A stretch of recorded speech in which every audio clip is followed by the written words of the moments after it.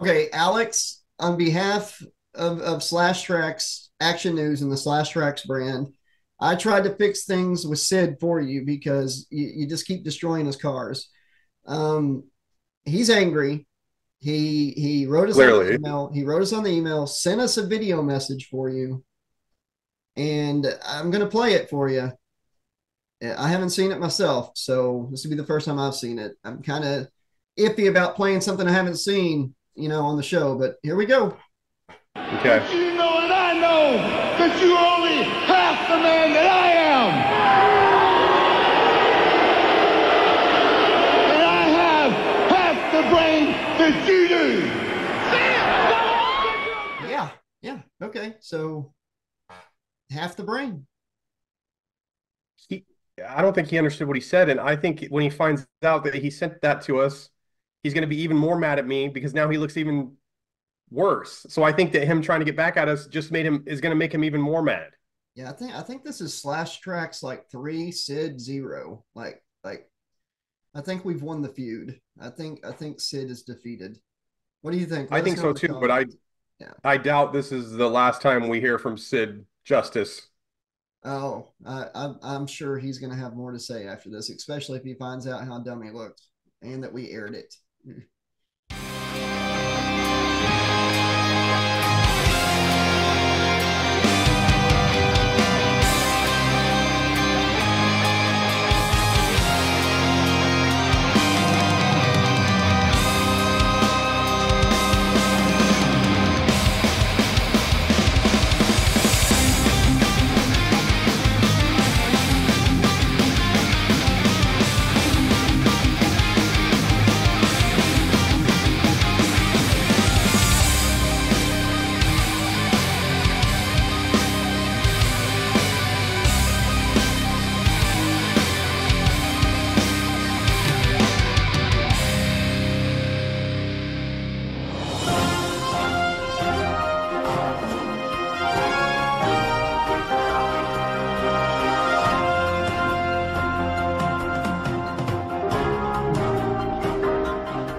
Good evening and welcome to episode number 31 of Slash Trax Action News.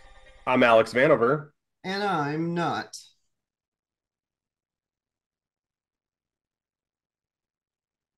Merry Christmas. Merry Chrysler. And Happy Christmas. Who are you? Not Alex Vanover. What? Josh LaRue. What? Stone Cold Steve Austin. It's better. And that's the bottom line. Hey, uh, yeah, I better not try to be too funny though, because I like my own jokes too much. Uh, we're gonna delve into that in the mean comment, nice comment, mean comment, which we're actually getting into right now. We're skipping all the fluff. Okay, let's do it. All right. After these messages, we'll be right back. Nice comment. I'm all about business right now. Josh, nice comment. And this is a short and sweet one. I'm hooked. And this is from Cineran2634. And that's regarding Slash Trax News number 30. Uh, so Cineran's hooked on the on the podcast, Josh. Good to have you here. It's a great thing to be addicted to. Slash trax. Yeah. Uh, of the things we could be ad- addicted to, allegedly, Josh, this person's addicted to Slash Trax. Uh, let's get into another nice comment. All right. All right. I was not expecting this to be so good. You guys are quite entertaining. I really enjoyed the segments and how you cover horror, wrestling, and other sports. It's right down my alley, 100%. And this is from another uh, Cinerin X, Cax, slash track. And this is uh, on Slash Trax News, episode number 30. So the same uh, podcast episode. So didn't expect this to be so good. So kind of a backhanded compliment, but still a compliment nonetheless. Wow. Thank you. Thank you. We got like two like that recently. I remember hearing and reading another one like that. Uh, Yeah, it's like I I clicked on this link thinking it was going to be absolute crap, and then I stuck around and enjoyed it. So thank you for that. well, Hey, that if that's the way it works, I'll take it. Any new viewer is an awesome viewer. So welcome to the Slash Trax uh, Slashaholic Army. Yeah, click that subscribe button. Head to slash trax 2020 gmail.com. Send a dear slashy, send a would you rather, and then you, Cinerin CAX could be in the next episode of Slash Trax uh, Action News, which you already are in one right now. So congratulations. And if you haven't done so already, see uh, right up there or down there. I don't know where I'm going to put it when I edit. Patreon.com forward slash 80 slasher librarian. Sign up for as low as a buck a month and it helps support the channel. Uh, the only way to fund the channel is through our Patreon. You can do it on PayPal, daylighter07 at yahoo.com, or you can even order a cameo from us. That could be some fun, right? $10 a video. We're your prostitutes when it comes to cameo videos. Whatever you want us to do, we're going to do it. So send your suggestions in. We'll shoot you a video and you'll help support the channel. Maybe maybe in a, a Patreon they could ask us for Dear Slashy, or would you rather in the in the Patreon, and we could answer it like really flesh it out. Yeah, Or we could do season's greetings, Josh, Mhm. holiday. on Cameo. It's anything, anything uh, you want, and uh, you know the links in the description below. And uh, yeah, Yeah. it's just ten bucks a video. You're supporting the channel, and you can have some fun with us while you're doing it. So Yeah, do it. Uh, Josh, the reason I jumped into mean comment, nice comment so quick and just did two nice comments in a row instead of nice, mean, not nice is because I want to get into this mean comment. Okay. I know uh, this has been coming. Let's hear it. All right. Okay. I'm sorry, but the Alex guy is not as funny as he thinks he is, and he comes across as crass and rude, and his eyes are sunk sunken in like he's on drugs? Question mark. No sleep? Question mark. And that Josh dude, lose your stinking accent and keep the crappy camera so we don't have to see you. Get a clue, both of you. And this is from our friend Donovan Garcia, uh KO40K, who gives a crap what the rest of his bullshit is, uh, name. Um, and this is in regards to Slash Trax Action News, episode number 30. So, you got any thoughts on this really shitty comment this person left? Well, I guess I'm gonna start talking with an Irish accent, Alex, since I have to lose my act, my natural accent. Um, you gotta get a facelift or something there, Alex boy. Get them eyes back out where they're supposed to be. Get some sleep and quit the drugs. I read this comment at like four o'clock in the morning Oh no. when I was getting up to go exercise. So, and I saw that the guy had posted this like 20 minutes prior. So, this guy who went into our comments and posted this crap, this like highly personal attack at both of us, saying shit he doesn't doesn't know anything about. Um, he doesn't know anything other than the last episode he saw of us and he decided to fire some shots at us. So I normally ignore this kind of stuff, but I was pissed. Yeah. Um, I thought it was quite ironic that he was talking about how my eyes were sunk in, like I hadn't gotten any sleep. Well, guess what, douchebag? You were correct. I fucking don't get a lot of sleep because I work a full time job. We do slash trax, uh, which we don't get paid for. We do it because we want to have fun and we want to entertain the YouTube channel and whoever else comes across this and I exercise every day. As a matter of fact, I worked out for over two years straight. Uh, I work out six days a week now. Uh, I used to weigh 358 pounds. Uh, I got all the way down to 204 pounds. Uh, I haven't drank alcohol in almost nine years. I've never done drugs. My mother died from a drug related incident. And for you to say something like that really pissed me off. But Josh, can you show this asshole my before and after photo uh, just so he knows what I'm all about? yeah, let's do it now. Okay.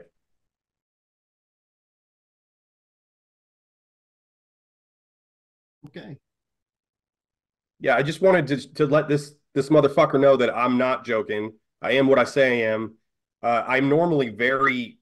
I try to keep this tone as light as possible. I don't. I try not to get serious. I you know I reel it, dial it back if I get too serious because I want to have fun. Everything's too heavy, but for some reason, that got under my skin, and I think it was because I as as I'm getting up to go exercise, he had just posted that at like four or five o'clock in the morning. Yeah. So it's like, listen, you shit.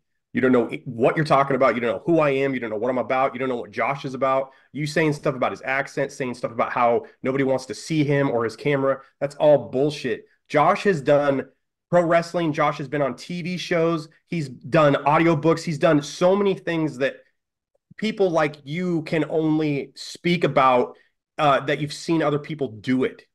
you when you say crap like this, it's not a problem with Josh and I, it's a problem with you. You are projecting your own insecurities and issues on us. So the problem has nothing to do with Josh and I.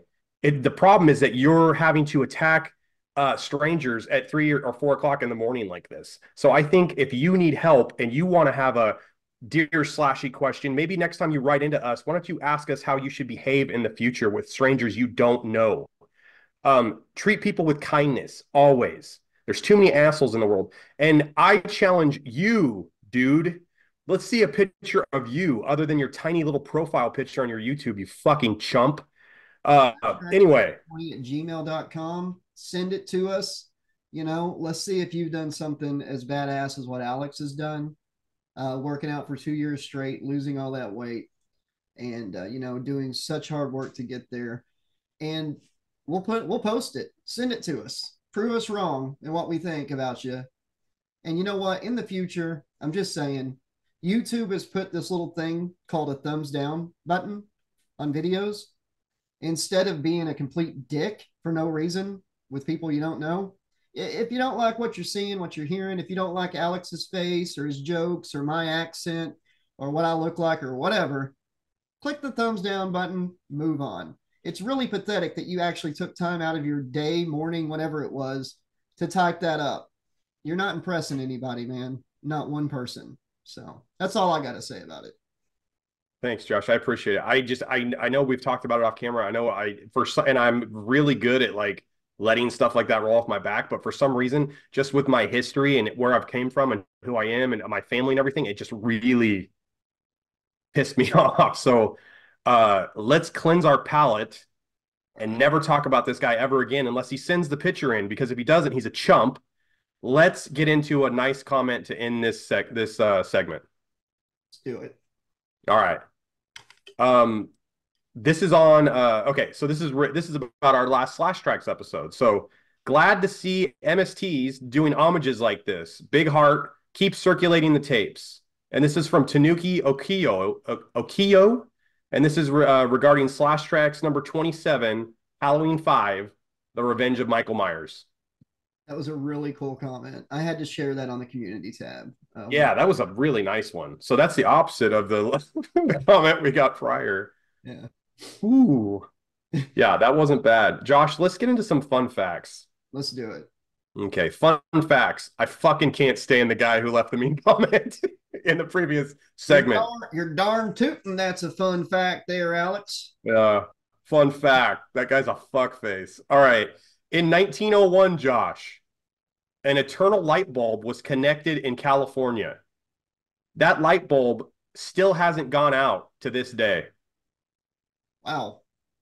Um, that's the, and we can't even like buy a light bulb that lasts, uh, you know, more than a few months nowadays. So yeah, they do it by design. They do that on purpose. They make them they make them temporary so you'll go back and buy another light bulb that's why vehicles are so shit now compared to you know how like uh, i work in a shop so i see it a lot like older vehicles run forever newer vehicles you know you get problem after problem and they want you to get a new one every few years uh, mm-hmm. so they quit making them quality but yeah that that's uh that eternal light bulb makes me think of like Tesla, you know, like he had he wanted to do stuff like that, uh, free energy and everything. Uh, money always wins out in the end. I'm surprised the uh, light bulb's been allowed to burn so long, showing people that it's possible. Uh, yeah, they're like, don't look behind the curtain, like it's the Wizard of Oz situation. Uh, but I was gonna say, like, it reminds me of that meme or that picture where it's a fridge from the 70s, and it's like the olive green fridge and it said, I am eternal. I am endless. I will outlive you, your family, and all of your children's children. Uh, because they don't make things like they used to. Uh, my grandpa had a radio from like the 40s that fell in a paint can and was just completely soaked in paint. Still, still works to this day. Um, it's just amazing how some of that stuff they just don't. I don't know, man. I, do you remember TVs? They would actually like the big wooden jobs were oh, your yeah. grandparents' TVs. I had some people as a kid. So yeah, some people still have those TVs uh like in their grandparents' houses and they still work. They're really good uh, video games as long as you don't mess with the knobs, like the 20 knobs underneath the when you open the little panel on the front. Yeah. They they designed uh, stuff like that to last. Um, nowadays, TVs especially, uh, I know we kind of already touched on this, but TVs especially, it seems like TVs last about three years, and then you have to get another one. You have to replace it. Yeah, smartphones and all that. You have to, you know, get updated like constantly. Tinfoil hat time. I might have to do a segment for this. Anybody else think it's kind of weird that all like technology boomed after like the whole Roswell incident was supposedly happened. You know, like everything has boomed since then. And we're to the point now with all these smartphones, all these chips and stuff that shouldn't be in existence in that abundance. I don't know. Something maybe alien tech or something. Uh, awfully fishy. Well, they've already gone on record saying there are aliens. Like there's footage of UFOs. Yeah. Oh, yeah. I know. I'm just saying, like the technology boom happened after that. It's just gotten more, more and more advanced, and like the kind of chips and stuff that have to be used in these TVs and phones and computers shouldn't be in that big of abundance. And yeah, I know a lot of it's synthetic, but not all of it's synthetic. And the non-synthetic stuff should not be that easily accessible. Uh, in fact, it's not an expert, but I have this guy from Country Buffet that was going to say something about this. Country Buffet guy, what do you think of the the whole alien tech thing? Do you like hot fudge sundaes? well, that makes no sense at all. I don't even. Sorry, Alex. Continue. I'm just confused. you just keep hiring people with money we don't have from this production budget. First of all, I'm I'm, I'm not doing too bad. I guess, uh, but you just keep hiring these random people. Like you start IPW, now you're at the country buffet hiring people. Um, he's good food. He's he seemed like gotta, a nice guy that was knowledgeable, but that made no yeah. sense. We'll check back in with him later. But okay. Um, hey, Josh, scientists have concluded that the chicken came first, Josh, not the egg, because the protein which makes eggshells is only produced by hens. Hmm. So scientifically, the chicken came before the egg. We can put it to rest now. Okay, finally. Now we can move on to who let the dogs out. The Baha Man, baby. There's a documentary on that song, and the Baha Men were not the people who created that song. I watched like an hour long documentary on that song. Um, yeah, uh, and wait, the Baha, wait, the Baha Men ripped it. Go ahead, go ahead. I got a question oh. when you're done. No, go ahead. Go ahead. You watched an hour long documentary on the Baha Man, but I couldn't get you to watch the King of Kong, a fistful of quarters documentary. I already watched the King of Kong. Oh, I okay, okay, okay, okay. I just didn't want to watch it again. I've seen the King of Kong like at least 10 times. Like Steve Wiebe is my hero. I love Steve Wiebe. Love yeah. Him. And the Troll 2. Oh, you did watch the Troll 2 documentary, so that's cool. yeah. There's um, I can't remember what it was, but anyways, yeah. There's been a couple. So I pretty much anything you've recommended, I've watched. I think the thing that you're having a hard time getting me to watch is Always Sunny. Oh, okay, okay, all right. Uh, because we've had several uh discussions about Always Sunny, and for some reason, I just always I don't know. I'm a creature of habit. Like if I'm going through Netflix or Hulu or Amazon Prime, I always end up watching the same five shows I've watched. Yeah, I'm back on Boy Meets World again. yeah, same. My wife and I just ordered a cameo video from uh, Mr. Feeny. Oh my god! That, that, that, great. Was our, that was our Christmas present for each other, and uh, we we said, Mister, we need advice from Mr. Feeny uh, because I'm having uh, trouble uh, with like being sad about my kids not being little anymore and being teenagers, not needing dad as much, you know. Okay. And Beth is like concerned about our two adult kids that uh, you know concerned about them being adults and being on their own. And we thought that was a great way to get like a Mr. Feeny pep talk. So maybe I'll I'll throw it on the air once we get the video from him. So it should be please. William Daniels is a national treasure, and we need to like treat him as such. Yes. Uh, we're lucky to even still have Mr. Daniels around, so I cannot wait to see that. After these messages, we'll be right back. Hello, Joshua and Beth. It's Bill Daniels from Boy Meets World. I understand that your kids are now about the same age as Cory and Topanga were when I appeared with them. First of all, all those young people are now very fine adults. And I'm confident your children will be too. As for not being little anymore, I promise that your kids need you now as much as ever. Maybe just in a different way. Hmm? So, remember the words of George Feeny. Believe in yourself, dream, try, do good. Best of luck and happy holidays. Josh, I wanted to get one from Jason David Frank, and I never did. So I, I pulled the trigger on this. Um, I didn't want to have any more regrets about that because we don't know how much longer we're going to have anybody. And like you said, William Daniels is a national treasure. So he That's- he's freaking KITT from Knight Rider. He's the car. He uh, he's been in so many amazing things. Um, uh, you so you brought up Jason David Frank. I just wa finished watching uh the Power Rangers uh the five episode arc where he's introduced as the Green Ranger. I just finished it today, by the way. I started it on Thanksgiving and and I watched the first two episodes. I just watched 3, 4 and 5 today. Um Tommy is Tommy is like uh Hulk Hogan in the 80s. He's like overpowered. Like he's basically able to take anybody and everything on. Uh he can just destroy like he takes on he takes on Jason. Jason's like, come on, you, you think you can take me? And then Tommy's like, yeah. And then like just throws the dragon dagger right at his chest and just fucks him up. Um I love when we, me and you talked about it as kids when we rented it at the video store in VHS. They never had parts one or whatever. You know, you had to rent like part three, yeah, then part out two. of sequence, out of sequence. Yeah. I'd be watching like because some asshole kid would have checked out like two, four, and five. So then I just happened to get one and three. And then a week later, I'd get lucky and maybe get five and two. So I'd be missing parts of it because when we were kids, slashaholics, uh, you had to watch reruns and you had to get lucky at Yeah. that. Yeah. I started my Power Ranger journey with the uh, Green with Evil videos, and uh, I had to watch them out of order. But then when I, I was like, I'm going to watch Power Rangers on TV, and the first rerun I got almost turned me off from the show, even as a kid, because it was the uh, Pudgy Pig episode. yeah. they, they use no Japanese Zord footage or anything. So there was no Yeah. Zords. It was like the worst costume for a villain ever on the show. His arms were like, yeah. he looked like just an apple or something. And he had his little arms out and his little legs out. naked pig head and a helmet or something. I don't know, but uh, anyways, I love the show. I could watch it to this day. I could watch every season of Power Rangers.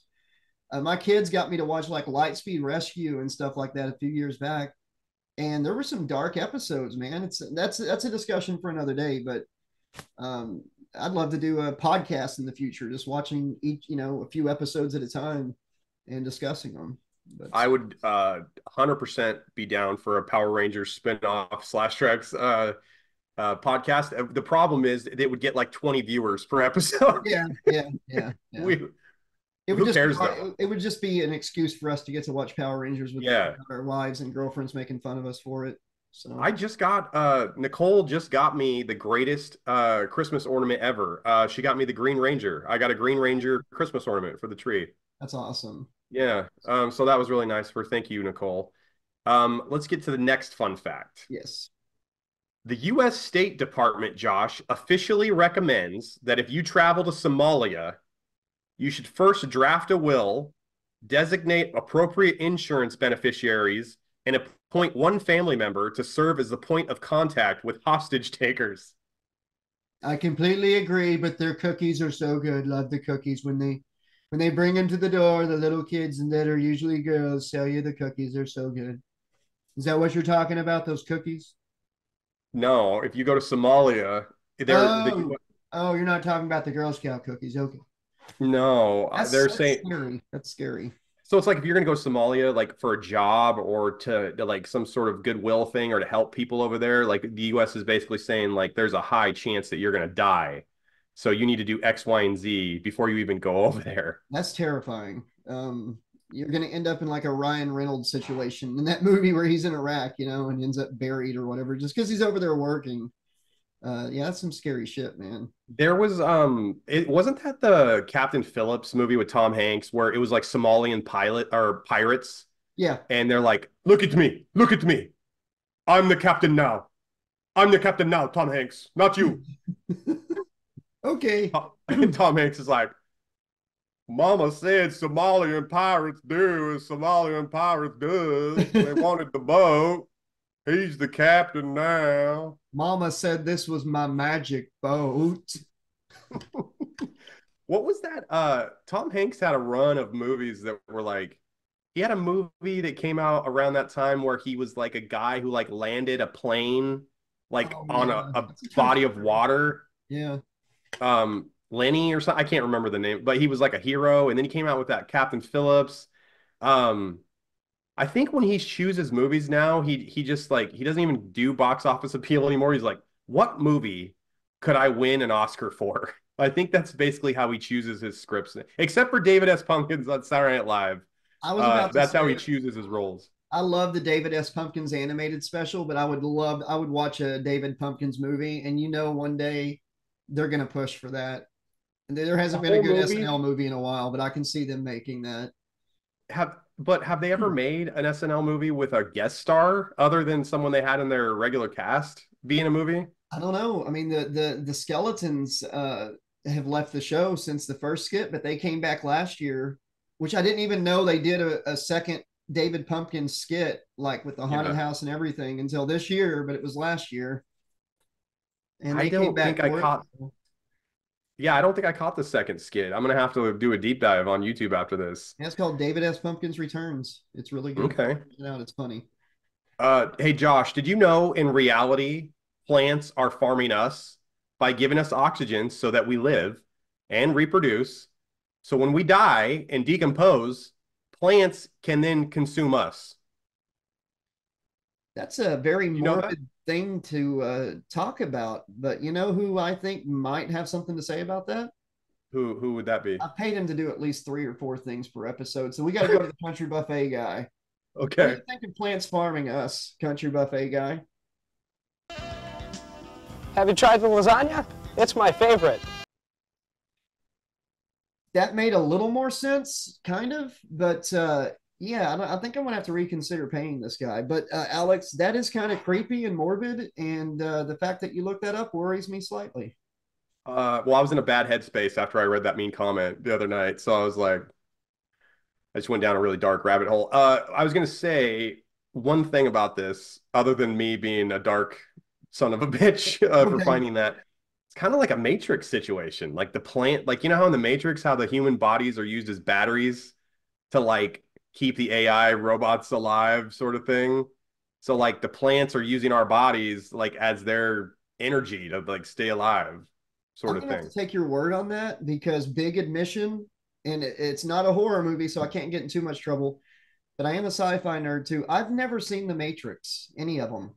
Never Oh. watched The Matrix. Hold on. Yeah, never on. watched The Matrix. You give me shit Yep, for not having seen Always Sunny, but then you haven't seen The Matrix. Never seen The Matrix. Okay, Not one Matrix movie. stop filming this episode right now and go watch The Matrix. This is okay. ridiculous. Are you serious? Yeah, I've never seen The Matrix. Just, I, I want to. I've just never taken the time to watch it. So Well, you obviously don't want to because the movie came out in 99. It's been like 24 years at this point, Josh. You I mean, don't like- want it's really good. Don't just skip the sequels. Fuck the sequels. They weren't even supposed to have sequels. They just shoehorned sequels in to make more money. Okay, The first Matrix is a standalone deal. Okay. okay, okay. That's Uh, all you need to watch. Don't all even right. watch the sequels. I'll watch it before the next episode. All right. Well, you don't even just please watch The Matrix. okay. All right. Last fun fact of the episode. Actually, I've got a small fun fact, but go ahead, brother.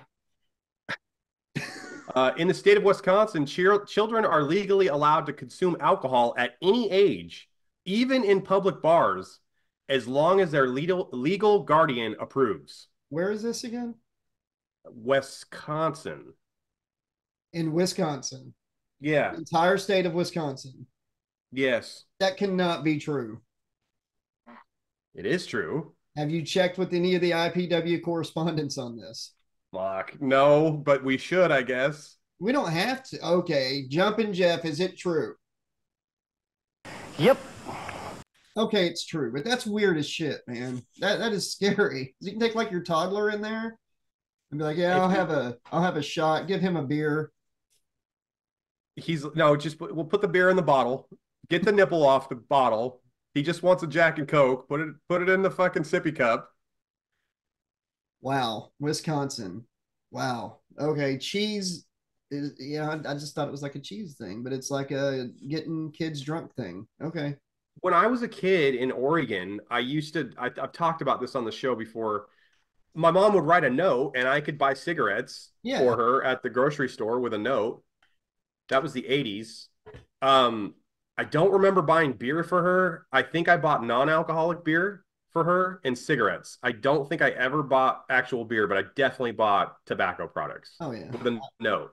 I was buying a pack of cigarettes for myself at like 15 years old at gas stations and stuff. People just didn't give a shit. They weren't getting Yeah. fined thousands of dollars yet. Um, I was pumping totally. gas at five years old for my parents. All right, Josh, hop out and put ten dollars in the truck. You know, that's how I learned math before I went to school. Pump out, pump gas for the parents. So Damn, you had ten dollars worth of gas in the eighties. That was that, that must have filled it up because that was that's a lot back then. Yeah. Um, what was your fun fact you wanted to say? Uh, just a quick one. I heard this theory from uh, Groundhog Day that I just wanted to share with everybody. Uh, Okay. You know, you know the nerdy guy that Bill Murray runs into, the insurance salesman. I can't remember his name right now. Uh, that I don't know his name The shit out of him. Okay, Bill Murray's character acts like he doesn't recognize him, but the dude recognizes him, and it all starts when that guy says, "Watch that first step. It's a doozy." Bill Murray steps in the puddle. The time loop starts, right? Yeah, and it doesn't end until the day where that insurance guy is like, yeah, he came to me today and took out death and dismemberment and da da da, took out all these different insurances, right? hmm They're saying that he's the devil. And Bill Murray was put in this time loop until he signed a contract with the insurance guy, right? hmm So he got the he got the love of his life. Everybody loves him. Great career. Time loop ended, but he sold his soul to the devil. Thought that was a fun fact. Love to hear some people talk about that in the comments. What you think? Because Is that a so? Is that a conspiracy? Is that what you're saying? yeah, it's like a, a thing floating around in like the fandom that's Okay. that the insurance salesman is actually the devil, and that's why this whole thing happens, so he can uh, snag a soul. Okay, So loop doesn't end until he signs all those contracts. So the Groundhog's Day. Uh, here's a fun fact: Groundhog's Day was like the last movie that Harold Ramis, who played Egon, and Bill Murray, who played you know Venkman in Ghostbusters, that was like one of the movies they started having major issues with in their personal life. yeah. Uh, and I don't know that they worked with each other ever again after that film. Ghostbusters 2009, the video game. Okay, First we're- time they did a project together. yeah, They recorded their lines separately, but they did they did agree to do the project together. That's as close as it got, I think. Uh, but which is really sad because they were like very very good friends and they were did a lot of projects together. Um, I think that Bill Murray Bill Murray has like historically been hard to work with on movie sets. I think, and anything I've ever heard about Harold Ramis was that he was just like down to earth and like really nice and thoughtful, like the complete opposite of Bill Murray, which I hate to hear because I love Bill Murray.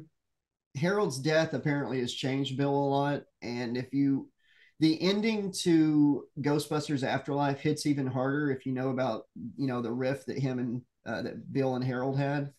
Uh, the whole ending, you know, that says for Harold, but like the Mhm. having him there next to spoiler alert if you haven't seen Afterlife for some reason, uh, you know, Egon showing up as a ghost with the other Ghostbusters there. It hits even harder if you know about that. But yeah, I didn't mean to get us off on too big of a tangent. Uh, but yeah, um, those were some great fun facts. That's what we do on this show. Um, so whatever, deal with it. Uh, let's get into a would you rather. Okay. Okay, and this is from our good friend Johnny Utah. Okay. And Johnny Utah actually wrote in at slash trax 2020 at gmail.com. So this is straight from the email. So Johnny Utah, this is for you, pal. Uh, he asked us, Josh, he said, Would you rather be on to catch a predator or America's Most Wanted? And this is from Johnny Utah. Uh, America's Most Wanted. for sure. Uh, for sure. there's there's two answers for me. So either I'm going to be on America's Most Wanted and I'm like being interviewed, right, about a bad guy, So we can take that angle. Or if I'm on to catch a predator, I guess I could be someone working on the show that's catching bad guys. Like maybe I'm the one who like brings the pizza for the dirt bag to bring. I don't even I don't know how that works. I don't know. I think that what Johnny's asking is, would you rather be a, a bad guy on this show or that show? And if that if that's what you mean, I'm going to go with America's Most Wanted. Yeah, me too. Because I to catch a predator, there's not you are what you are on that show. Yeah. Uh, but to like on America's Most Wanted, Josh and I could have robbed a bank, and we did such a good job, we got away It- or it- you know, something. it'd probably be more. I'd probably end up on a show more like unsolved mysteries. Honestly, the way my life goes, all the crazy stuff I get into. So, yeah, Dude, there was a kid. There was a kid um from my area in Oregon. I think his name was Jeremy Bright. Uh, I was born in Coquille, and he went missing in Myrtle Point. And Myrtle Point is like right next to Coquille. It's it's almost like the same town. The state fair for Oregon, or not the state fair, the the the fair for that town is in Myrtle Point. Okay. Um, he went to the fair one day in the 80s and never came home. He's Wow. been missing forever Oh, and he's on an episode of Unsolved Mysteries. So I remember my I thought you meant he's been at the fair for for 40 years, man. To who who has that much money to be at the fair for 40 years, first of all. you said he went to the fair and never came home, but no, He I went to the and he's and and the unsolved mystery is how he could afford to still be there for 40 years. He's still No, he- the main the big prizes. Yeah, he somebody kidnapped him or killed him, but he's still not been found. Um, but I remember he was like a legend around my town, even. It was like, you know, make sure you have someone walking with you, make sure you tell your parents where you're going. Um, here's another showing my age. Uh, back in the 80s and 90s, there were no cell phones, there was no social media. So, like, my mom or my dad or whatever, I'd just be like, hey, I'm going to wherever, and they just let me go. Yeah. So if I got kidnapped or murdered or something, it's like, well, that's the that's the you know the risk they were willing to take, sort of thing. Do you remember? Have you ever heard of Morgan Nick? No. Okay, it's it's got some notoriety. Her family was on uh Extreme Home Makeover. She was a little girl that got kidnapped at a ball game in the town I grew up in, Okay. one town over from where I live now. And she was always the cautionary tale, you know, whenever you're a kid, uh, you know, you remember what happened to Morgan Nick? It can happen anywhere. And this is like small Mhm. town, southern Arkansas, you know, like, or not southern Arkansas, southern state, small rural area. And Yeah. like, it was a pretty big deal. So it's kind of like what your story is. Uh, I think it might have been on there too, Unsolved Mysteries, the Morgan Nick story. Um, so yeah, we What happened? a story like that. She was just Does anyone any clue on what happened to Morgan? No, uh, to this day, not really. No, she just disappeared. There's like a white van, people said, but yeah, it's kind of like That's- I- that. It's crazy. I feel like in the 80s and the 70s and stuff, I mean, p- those guys, these these bad guys could be more brazen with their with their bullshit because DNA wasn't really a thing yet. Um, there was really no like there's cameras everywhere now, so you can't do anything. Like if you do something, you're you're on camera somewhere. I promise you, you're on camera somewhere. Um, but back then you could get away with stuff for years and years and years and years and years. And some people have still gotten away with it. And a lot of these guys age out. I mean, they're dead. They're never going to get caught. They just A lot of these- murderer, man. They did. They did. I, it's. It hasn't been officially proven, but it is pretty much. It's him. The dude brags. I told my Uh, yeah. wife, I guarantee this guy thought it's been long enough he could brag about it, and somebody Nobody would, and nobody would care or whatever. Yeah. Um, I was, man, and then there's even rumors that that guy said that Puff Daddy allegedly is the one who commissioned the hit. that's just depressing. That's like saying Master P put the hit out. I mean, come on now. Yeah, not even a badass rapper or anything. Really? Puff Daddy? Puff Daddy was good friends with Big and Oh and God. Puffy and Tupac were beefing West some- Coast East Coast. Not even some underground badass rapper, just Puff Daddy? Okay. Dude, Puff Daddy, hey, Puff Daddy's in in a lot of hot water right now, Josh. He's kind of in an R. Kelly situation. He's got a lot of pending sexual uh misconduct. Like a lot of weird cases are popping up on Puff Daddy right now. He's not having a good time right now. Want to bring this full circle, Johnny Utah? I think Puff Daddy might show up on To Catch a Predator the way it's going. I don't even think he's gonna. They're not even gonna have to put a trap out for him. I think they already caught his ass. It's like, got your ass, puppy. He's gonna, he's gonna be on To Catch a Predator for that, and for for you know commissioning the killing of Tupac, he might be on America's Most Wanted. So that's a that's a two for Johnny. Um, did we have a, uh, a, a Ask Slashy this week? Uh, no, we Oh. don't. Oh, you know what? We do, but I want to say one more thing about Puff Daddy. Okay, okay. He always said, "Can't stop, won't stop." uh, yeah, you can stop and you will stop because your ass got caught. How about that, Puff Daddy? I like that. Allegedly. Uh, okay, the Ask Slashy question. I didn't write it down in the show, um, but we were asked an ask an Ask Slashy question. There was a guy who wrote into slash trax 2020 gmail.com. Um, I don't have his name. I apologize. Uh, he wanted to know how Josh, like, he wanted some advice on how to get into the wrestling business. So, Okay. Josh, The thing is, how do you do that? you're gonna uh if you can find an area if you live in an area like uh Orlando, you know, somewhere in Florida close to like where they do NXT training and stuff, hit the gyms and try to find somebody. Uh, but really find out where your closest independent organization is. Uh, go to the shows. Um, work out every day. You got to be in shape to do it. You can't just. Uh, there's lots of videos of people wrestling that have no business wrestling. You don't want to be that guy. Find your local independent promotion. Find out where a, a wrestling school is, where these people go. Usually, the independent promotion will also have a wrestling school. Sign up for the wrestling school. Uh, give it your all. Uh, whatever you got to do, uh, change your diet, workout prove that you've got the heart to do it, and uh, do what they tell you to do in, in the wrestling school. And I guarantee they're going to put you on their show. And from there, it's all about rubbing elbows with the right people. Most independent shows bring in uh, people that you know used to be famous or that are in between promotions.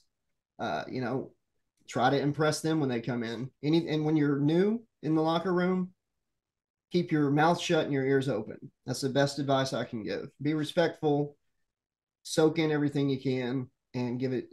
Always give it your like 110 percent. Show that you have heart, and you'll make it and you'll connect with the crowd uh, one way or the other. Don't have an ego. If you, because you like, most people don't think that you can make money as a heel on the independent circuit.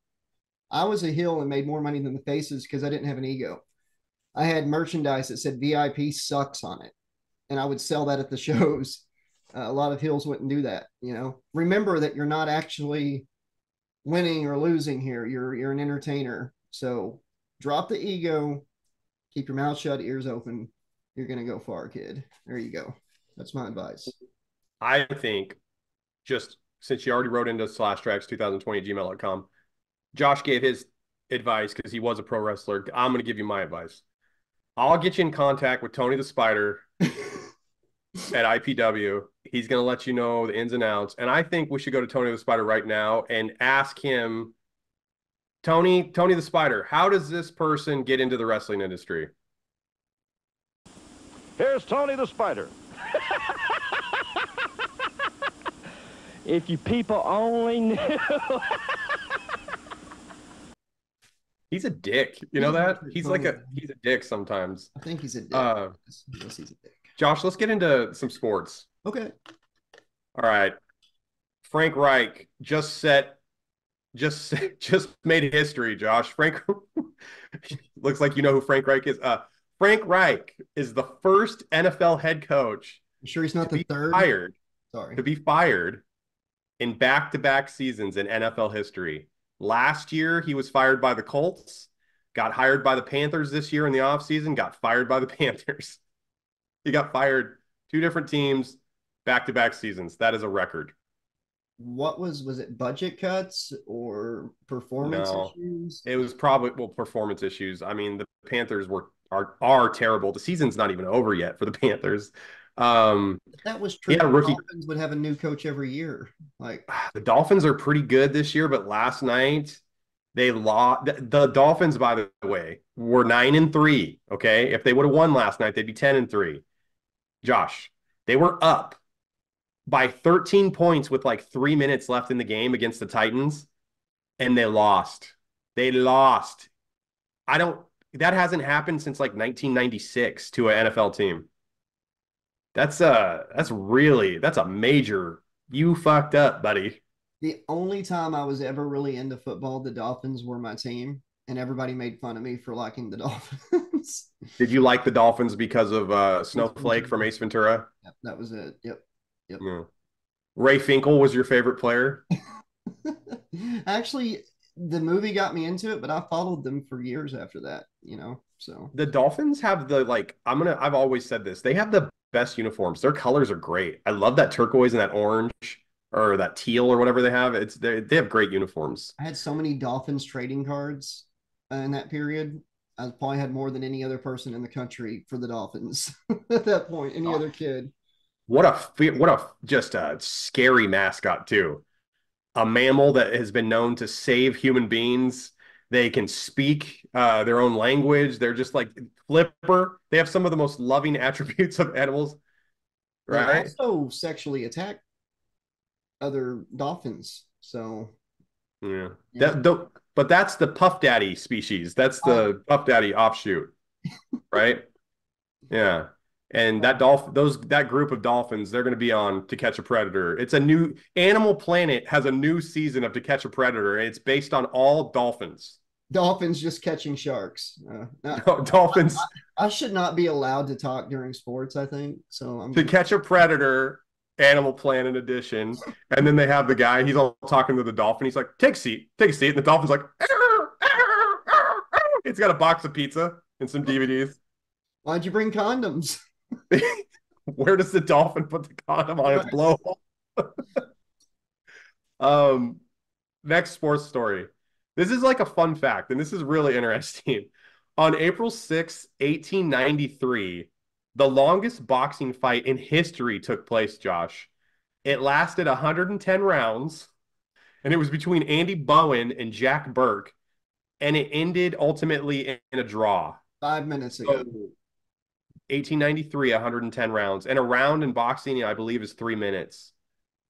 Wow. Um, That's pitch- why wrestling turned fake, by the way. Another fun fact is because pro wrestling was real and people would go and it got to the point nobody would buy tickets because the shows would go on for like four, five, six hours at a time.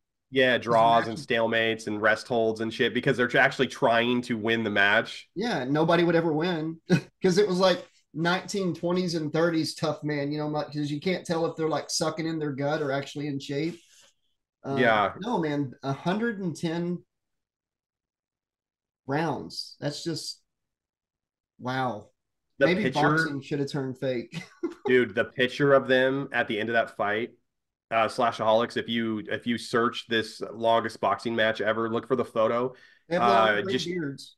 They're no, it they're just they're bloody from the top of their face all the way down their chest, all the way down their stomach. They're bleed. They're both. They look like they've been shot. Like they're bleeding all over the place, dude. These guys are a totally different kind of tough. And what's even sadder about this is they had to ride their big one-wheeled bicycles home after the fight. that must have been hard to balance on top of that bike after they fought that long because they're probably just beat to shit. Um, let's get into the last sports story of the show. Let's do it. All right. Will Smith, not the rapper, but the baseball player. Okay. Will Smith, the pitcher, just became the first player to ever win three straight World Series titles with three different teams. So he did it back to back to back. So in 2021, Will Smith won with the Braves. In 2022, Will Smith won with the Astros. And in 2023, Will Smith won with the Rangers. Oh my goodness. So wherever Will Smith goes, a world championship follows. And Will Smith, Slashaholics, just signed with the Kansas City Royals, which means, Josh, if if my math is correct, which it always is, uh, we need to go down to Vegas and place a bet on the Royals to win the World Series championship in 2024. And we need to get that coach to go coach the Royals. That way he, you know, can keep a Frank job. Reich. Yeah. so he could get fired and then they could rally around him getting fired to win the championship. Uh the Royals were terrible this year, by the way. So he must have signed for the money at this point. He's like, oh shit, I got three World Series rings. or maybe he knows something that we don't know because obviously he's a winner. Yeah, yeah. I don't know, man. Um, but that's just kind of an interesting uh, little stat. Let's get into uh, wrestling. Okay, let's do it. All right, we we haven't had an episode in like two weeks, so we've got some stuff. We got some shit. Uh, yeah, we've got some stuff. So Tammy Sytch, Sunny, um, she was sentenced to 17 years in prison and eight years of probation uh, because of her involvement. Basically, what she did, she ran into uh, an old man, a 70 something year old man's car at a stop sign or at a stoplight, uh, killed him when she was driving under the influence, when she was going to get tacos, uh, killed the guy. And this wasn't Tammy Sytch's like first DUI situation. It was probably like her 20th. Uh, but she it finally ended in her killing someone. And now, so Tammy Sytch, I believe, is 50 or 51. She's not going to get out of jail until she's almost 70. That's crazy. Um, this is this is it for her. This is the end of like Fine.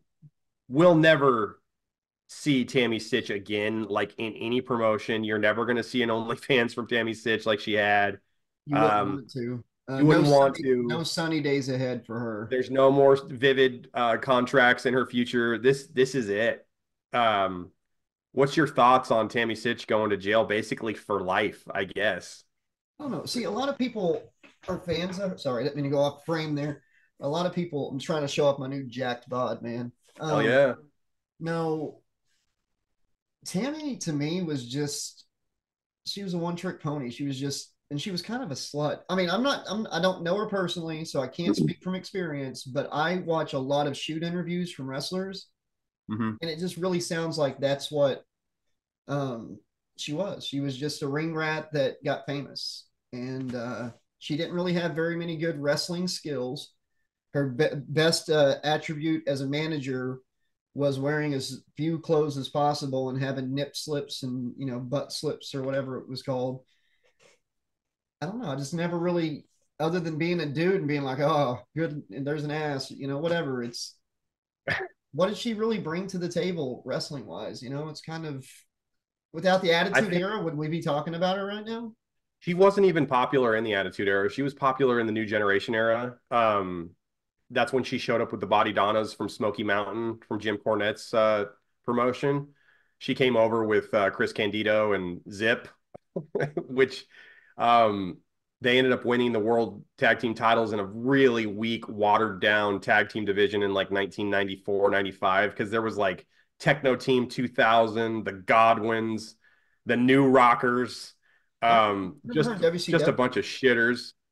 Didn't she come back with Chris Candido in WCW in like 99? Yeah, they got well, it was like 98, 99, but they got fired like almost immediately because she was uh somebody caught her with drugs in the locker room, which ironically they they did a DNA test and she or a drug test or something and she wasn't doing the drugs she got fired for. Oh no. But ultimately her behavior back uh you know behind the scenes in the locker room and everything had led them to that conclusion Okay. because she was doing drugs back then. The time she got caught red-handed, she actually wasn't doing it though, which is kind of interesting.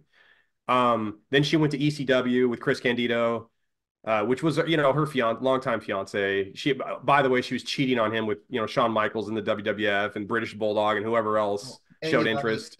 She did a Yeah. she did a uh, uh, interview one time where they asked who all she had been with, and she said a shorter list would be who she hadn't been with. Wow. She Like- was charging photos at a con, a convention where you could like get in bed with her What? uh, and take photo. Yeah, you could like take photos of yourself in bed with her. Um, sunny day. Have a sunny day at the convention. Jesus. she, she like as far as what she brought to the table, she could talk. She was a good speaker on the mic.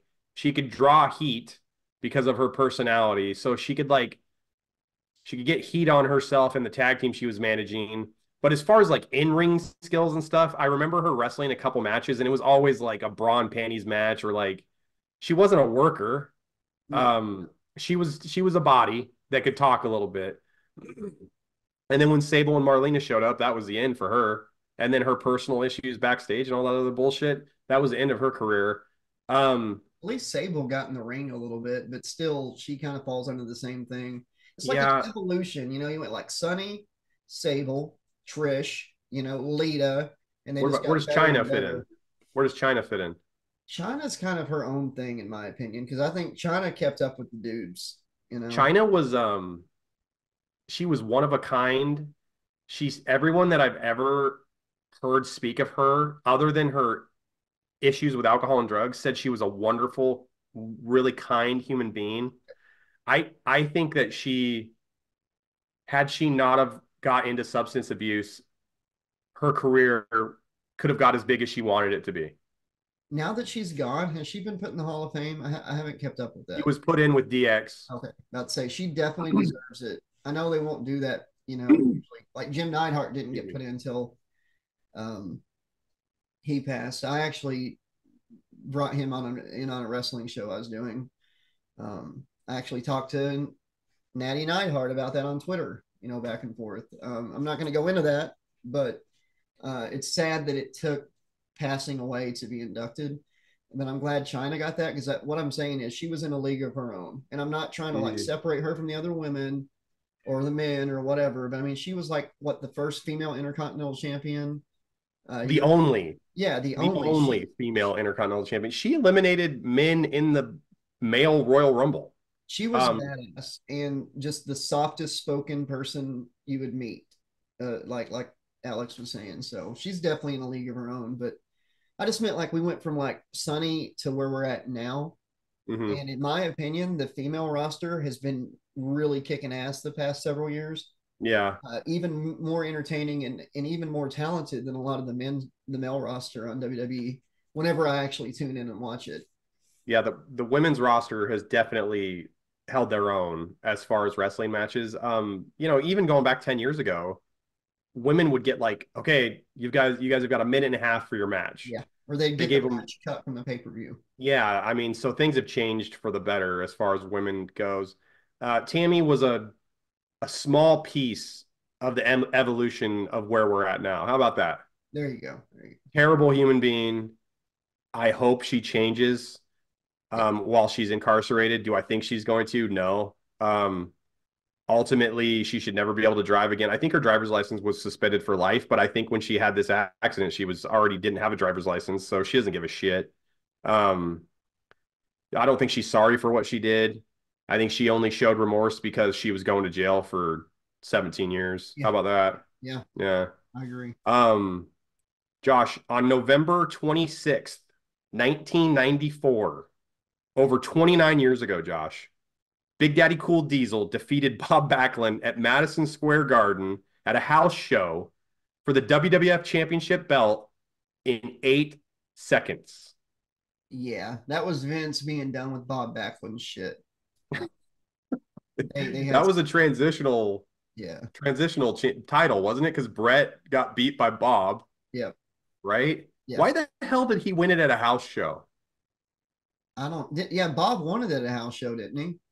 Bob beat Bret um, when Owen convinced Helen to throw the towel in. Okay, I know. See, we look at it now as like a house show, and we think, oh, why'd they changed the belt at a house show? But we got to remember that back in those days, Raw wasn't as big as it is now, and they still had their syndicated TV shows, and a lot of their Yeah. house shows became what you would see on TV. So- Superstars and all that stuff. Exactly. Uh, so a lot of title change because Bret won the belt the first time at a house show, I think. At Saskatoon on a house show against Ric Flair. Yeah. So, Um, I had heard Bruce Prichard on his podcast, Something to Wrestle With, with Conrad Thompson. He was asked that question. Um, and Bruce Prichard allegedly says, or not allegedly, he said this. They changed the title at that house show because Vince wanted, like, their house shows were lagging in sales for like ticket sales. oh, So they wanted fans to be able to have, like, oh my God, the world heavyweight title changed hands at a house show. We need to go to a house show. Maybe we get to see something cool. nobody called them house shows back then. See, I think Pritchett is so full of shit sometimes that he just makes shit up on the spot to sound like he knows what. Like, I honestly feel like it was done on a house show because it was going to be used on TV. Like, they weren't going to do it, you know, on Raw or whatever because it was like just a show to showcase talent. at the time. Why why eight seconds though? I think it was like a punishment or just to, you know, because I heard Bob Backlund was being real difficult at the time and stuff. So maybe that. Bob told um when Bob when Bob wasn't going to be the champion anymore, and they told him back in like '84 because Bob Backlund had been the champion for like four straight years at that point. Yeah. They're like, Vince is like, "All right, Bob, you're going to lose the belt to, to the Sheik, all right, and then out of nowhere, of the Tiger's going to hit, and Hulk Hogan's going to show up, and he's going to beat the Sheik at Madison Square Garden, and uh, you're going to be in the middle of it. You're not going to have to lose to Hulkster. And, uh, it's going to be beautiful." And Bob was like, I don't think that's a great idea because Hogan's not a real wrestler. Oh so Bob Backlund was like saying, like, I can't, like, I don't think you should put the belt on a guy who's not an actual amateur wrestler. Um, Well, in pro wrestling. One at that point. Good lord. I Bob Backlund. I listen. Bob Backlund has done some great things in wrestling. I'm not going to disparage him. He was a good ba- baby face. He got over back in the day. Uh, could he be any more boring? No. Could he be any more bland? No. I I think he did a better run when he came back as the heel. The guy who's like reading the fucking dictionary and he's calling everybody plebeians and he was like running for president. Do you remember that? Yes. That Oh. I remember watching. I remember watching his title run back as a kid and thinking, "Who the hell is this guy?" Yeah, because we were like five or like not even alive when he originally had the belt. and they were calling him old, too old. Uh, you know, and he was like forty. He was forty years And old. And really you know, fit too. now I'm 39, going. I used to call that guy old at 40, so it's it's. I know. and here's one for you: Chris Jericho giving Hulk Hogan and Kevin Nash and all them shit in WCW for not letting the young guys have a spot. Yeah, Hogan was like 42 years old, 43 when Chris Jericho was saying that shit. Chris Jericho is now like what 52? and he looks and Hogan and Nash look a hell of a lot better today than Jericho looks now. and he's still Jericho- not up his spot. So Dude, Jericho, I've seen some of his matches in on AEW, AEW, A&W. Maybe he is AEW. having his matches at A fucking A&W. No, um, A and at W. AEW. No, AEW. He's been having some terrible matches. Like he can't even do full lion tamer lionsaults anymore. He he looks winded. He looks gassed. He's trying to have the same work rate and move set that he did when he was like 22. Yeah, it's not. Um, he's got it doesn't look good. he's got granddad bod. He needs to change his move set and the way he works. He um, it's it's just I can't suspend belief when I watch his matches, and he's extreme. He's very out of shape. I'm not shaming him. No, no, no, he no. just he could be in better shape if he wants to continue working. I think he's on that Fozzy tour, uh, that Fozzy cruise ship, too much partying and, and rocking out instead of working. yeah. I, I don't know. But Chris Jericho has done a lot of amazing things. He was the first ever WCW and WWF champion at the same time. He was the first guy to have the Universal belt. He beat Stone Cold and The Rock on the same night to get both those belts. I've had to separate his like uh, life stuff from the wrestling stuff because Mm. once I found out he was at a certain place that was invading a certain building of ours, I was like, Yeah. okay, Wait. no, say it isn't so. I don't think was he there or was his wife there? it might have just been his wife, but he's he's on the bandwagon. Oh yeah, he is. Uh, Jesse Ven- Jesse Ventura has a like an interview on YouTube slash aholics that it what Josh is talking about. Um, if you can read between the lines, uh, Jesse Ventura talks about it, Yeah. and Ventura's like, I'm not Democrat, I'm not Republican, blah blah blah. I'm pro, uh, you know, the Declaration of Independence. I'm pro the Constitution, and it's really interesting his take on that whole thing. Um, Yeah, I didn't I didn't mean to go down a rabbit hole. I was just saying. oh, like, it's okay. I I've I knew what you were talking about. I've had to separate Y2J from Chris Jericho, you know, because I Yeah. love Chris Jericho. I do. I love the character. I love his journey. I think he should have he should be putting more people over and he should have been he shouldn't have been AEW champion. Uh, maybe He was the inaugural champion, wasn't he? He was the first one, right? after that, it should have been about putting the younger talent over. And you know, I'm a Sting fan, but Chris Jericho's not Sting. Some people can wrestle when they're 63 and suspend belief, like you said. Sting's one of those people, but at least even he is done. You know, he's he's announced he's he's leaving. Um, yeah, and he's only doing like tag matches. You know, he's not trying to go out there and exactly. He they're they're hiding him in tag matches um, while he's simultaneously getting Darby Allin over by Sting giving him the rub of approval. And Sting has two things going for him. This is the last thing I'm going to say about Jericho. Sting has the face paint, right? It can hide the wrinkles and stuff. And also, Sting has uh, no issues in his personal life. He doesn't party. Um, it's not aging him prematurely or dragging him down. So, if anything, Sting has had longevity added to his career by his good life choices later in life. Do you keep up with, since we're almost done with wrestling, do you keep up with the DDP Buff Bagwell saga going on right now? I was following that when he first went to the accountability crib months and months and months ago, and he was actually trying to like change his life. And he, I even, t- I even talked to Buff Bagwell on Twitter. Right. I've spoken to Buff. You might have Yeah, to I. I talked to Buff Bagwell. Um, but he recently got a DUI. Didn't didn't he just recently get arrested or something? That's he fell thing. off the wagon. No, he did a video where he's like explaining that he didn't fall off the wagon. He just let his anger do something where he screwed up a court thing, and that's why he's going back. He's he it's it's the original DUI that he's going to go to jail for because of da da da da da da da da da. And he talks about, and it's like him sitting there doing this interview. It's on Instagram and stuff through DDP. It's like five minutes long, and he's like explaining how his journey. He's been sober for so many days, nine hundred days or whatever. Da da da da da. I got my let my anger get a da da da da da. And now I'm going to go to jail. People are saying I fell off the wagon. I didn't. I don't believe a word he says. He is so full of shit. He, in my Yeah. opinion, he's not matured. Uh, he's still the same guy that had his mom call WWF, and it's like I would have more respect for him right now if he would just own it and not try to bullshit everybody. If I'm right, if I'm wrong, I'm sorry, Marcus.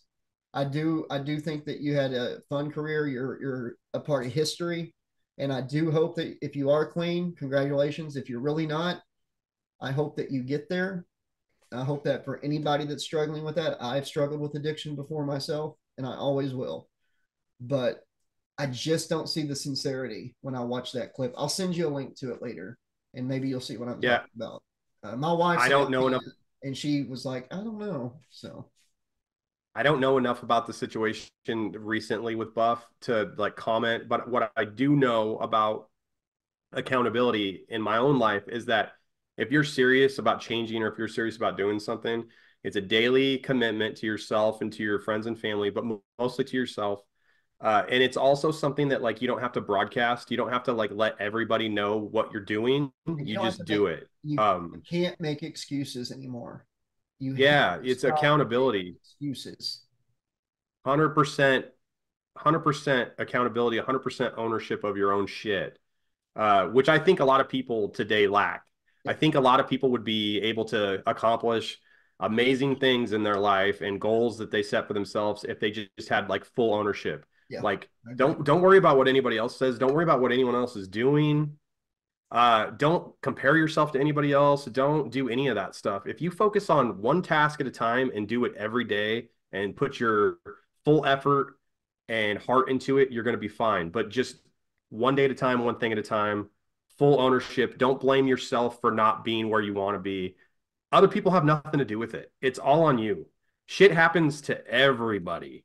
And if you're It's just how you deal with it. Yeah. And if you're struggling with addiction of any kind, alcoholism, pills, drugs, whatever, and you're wanting to take that next step and you're wanting to get clean, um, there's all kinds of resources. Uh, find find a family friend, somebody. Write us at slash trax 2020 at gmail.com. Uh, we both dealt with addiction of different Oh, sorts. yeah. I was a daily drinker. I drank alcohol for years, every day. Um, and going back to the mean comment thing real quick, I think that's why I was so offended because I'm so far removed yeah. from that lifestyle that it, but if you need help or assistance, uh, there's, I mean, seriously, you could just type it into Google. Uh, I'm struggling, blah, blah, blah. And there will be so many resources that will pop right up. So you don't have to struggle alone. Always reach out if you need help. That's the first step. Um, final wrestling story of the episode. What do we got, boss? CM Punk is back in the WWE, Josh. Um, at the end of Survivor Series War Games, so they had the War Games pay per view. Dusty Rhodes created that in WCW. Cody Rhodes actually got to perform in something his father created, which was really cool.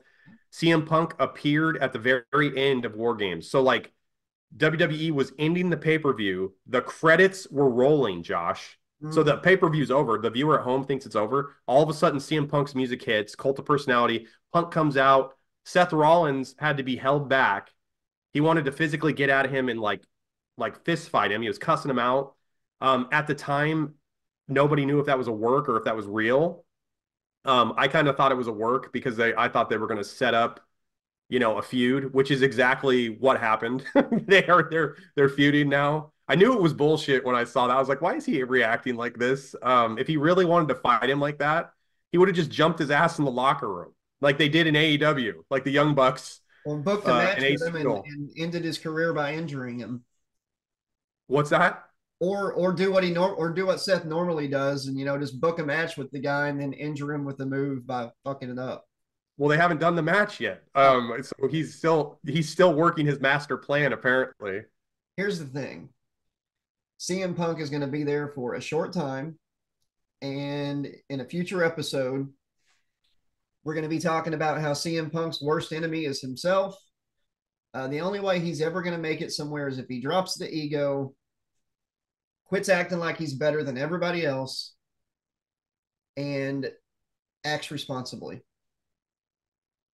He's always his worst enemy. He gets in his own way. He buys into his own hype way too much. And all we ever do is talk about his fuck ups. So it's exciting that he's in WWE. It's a big deal. People are shocked. I get it. But at this point, it's just more of the same, in my opinion. Like every time I hear about CM Punk, there's some type of controversy or something. You know, it's like he's always got to be stirring shit up and being part in the middle of the story. So maybe he'll prove me wrong. Or maybe like episode 33 or 34 of our podcast here, we're going to be talking about, well, that didn't last long. So He's been drawing like huge numbers. yeah, he's a draw. Um, I'm not saying he's not. He's he's a draw.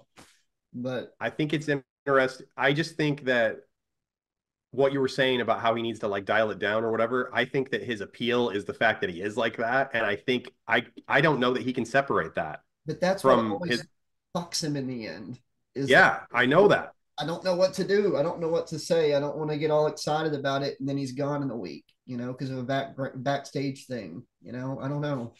He his work so I was watching his matches in AEW and I don't know if it was because he had just a shitload of ring rust. He looked a step slow. He looked old um comparatively to where he was because we hadn't seen him wrestle in like nine years at that point. Um he looks a little buffer now that he's in WWE. Looks like he's been working out. Um, I would love to see him be able to work somewhat close to the way he used to. Um, I'd like him to sh- keep his mouth shut in the locker room, and I, I, I, don't know though because I mean WWE ultimately did fire him on his wedding day for like for real, and I don't know how he's gonna.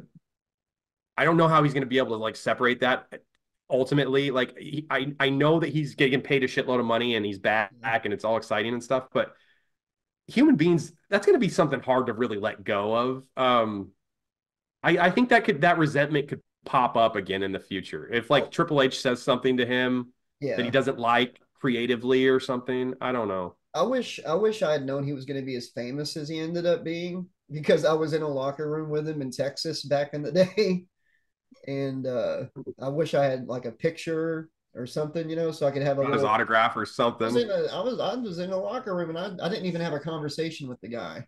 Um, he was making a joke with somebody because he was using the name CM Punk. That's that's something he came up with, and he said it was Cookie Monster Punk because that's what his grandma called him.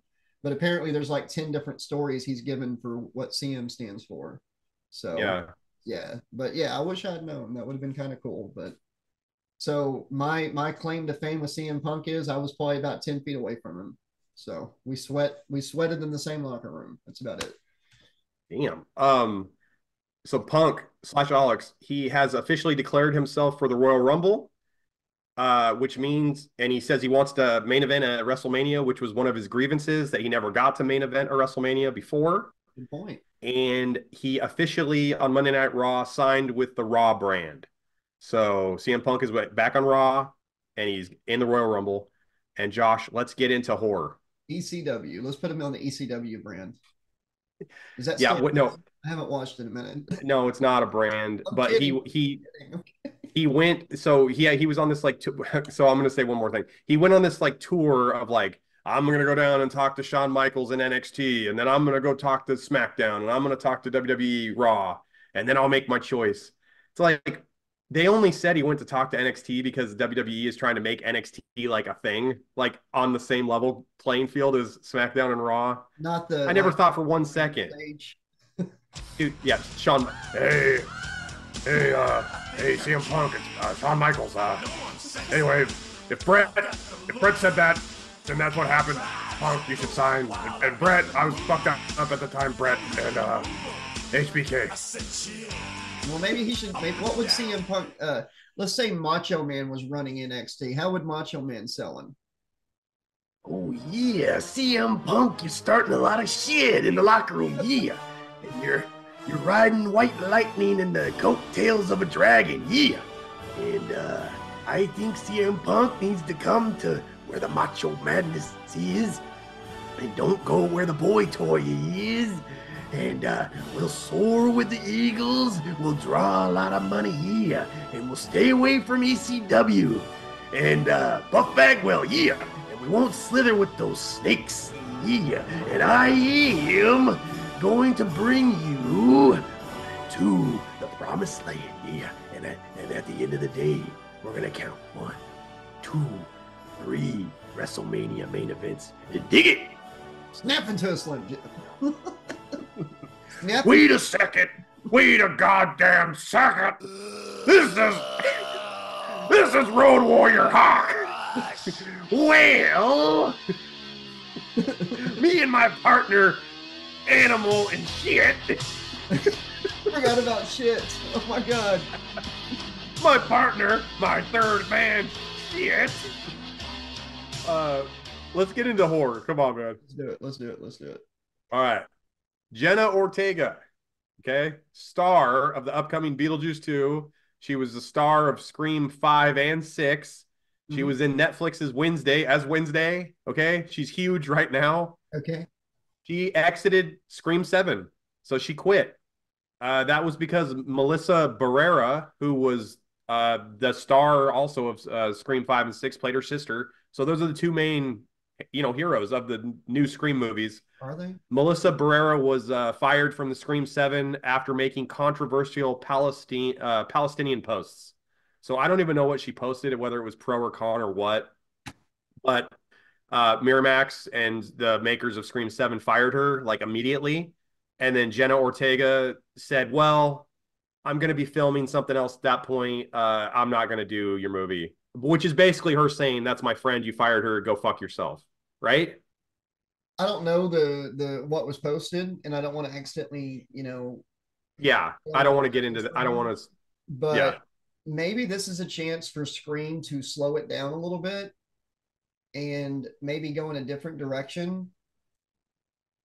Because that's what they should be doing. They shouldn't be trying to like create this whole new trilogy or quadrilogy or whatever the hell they're trying to do. Like each movie now should be like a standalone, like different parts of the country or different parts of the world. Kind of like a, like I said, we should have like Saw movies where it's like the cult of Saw like the cult of Ghostface, where there's these Ghostface murderers popping up all over the place. Um, I think that would be interesting, where each movie has its own backstory and reason for the kills to be happening. You don't have to tie it to the originals. You don't have to tie it to the one that came before.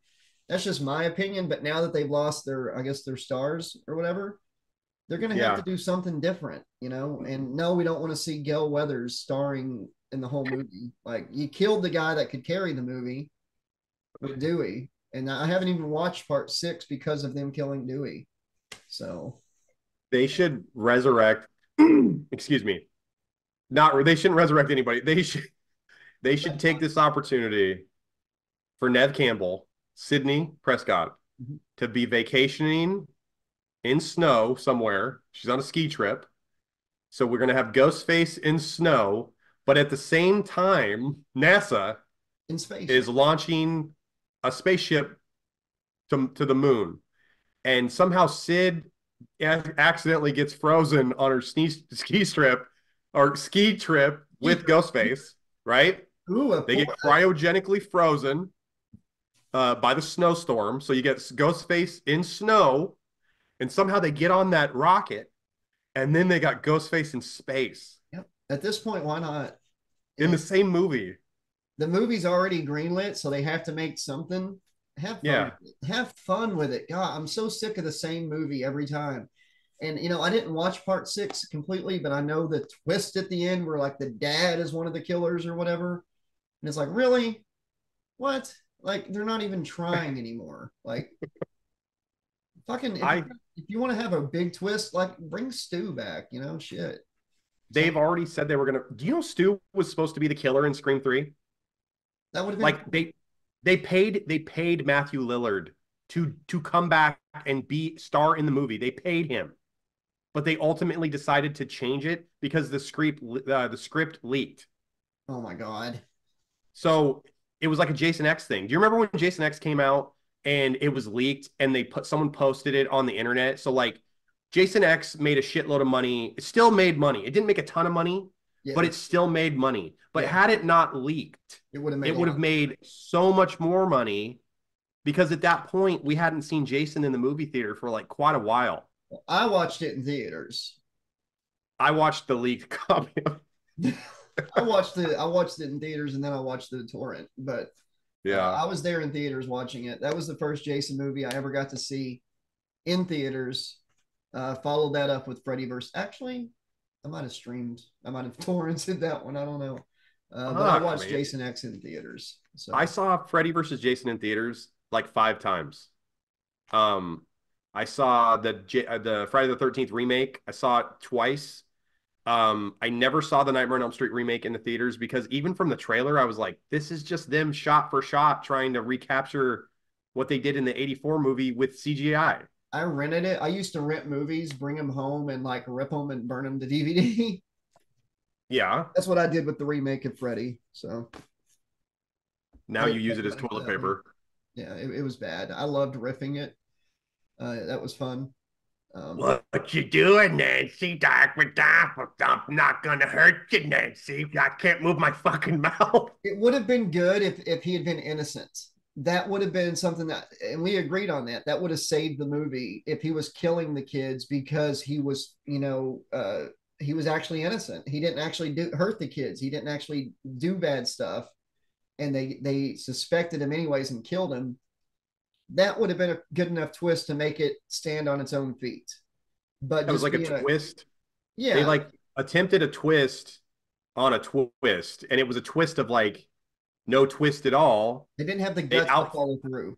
Yeah, they like outthought themselves. They're like, we're gonna throw a curveball on a, another twist, eh, which ultimately leads us back to where we were in the beginning. Yeah, it, So it it really, I enjoyed riffing it. I remember when Dead by Daylight announced that Freddy was coming, they put out a teaser where like Mhm. uh, claw marks like hit a pipe on one of the maps. Everybody's like, Freddy's coming to Dead by Daylight, yeah.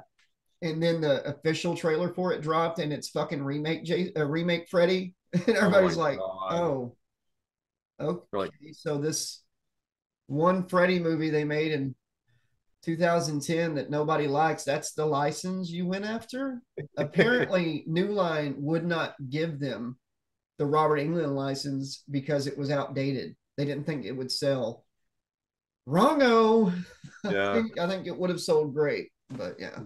I, I don't know, man. I, I feel like, I feel like people like whoever's in charge of these franchises have like, if they just went back to basics, they would make so much money, but they just refuse to do it for some reason. I don't know why, but they just won't do it. They just will not take a good idea. It's like, just do it. Did you know that the killer nobody ever thought would be in Dead by Daylight is in Dead by Daylight right now? Chucky. Chucky and Tiffany are in Dead by Daylight.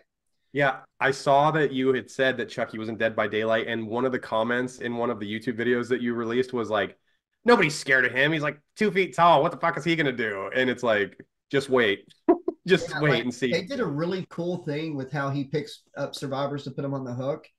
Uh, like the entity that's in the fog in this game, like comes out of the ground and forms the human version of Charles Lee Ray, and he's like carrying the doll of Chucky, or uh, Jennifer comes out as you know Tiffany carrying Tiffany, Yeah.